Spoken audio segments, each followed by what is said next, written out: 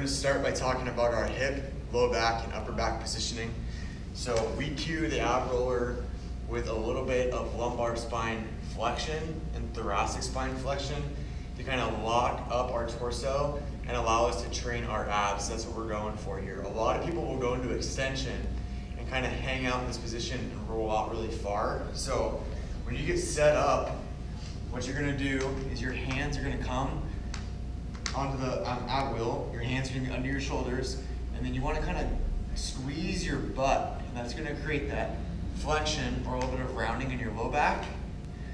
And then you want to push your chest toward the floor, or excuse me, push your chest toward the ceiling to create that little bit of rounding effect in your upper back.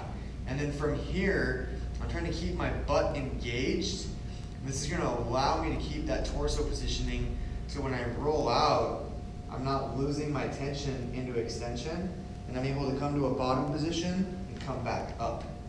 So for many of you, you may need to start in this small position here and then you'll notice if you get your hips back too far behind your knees, there's not a lot of load that goes through your trunk or your torso. So you always want to keep your hips slightly in front or at least above your knees.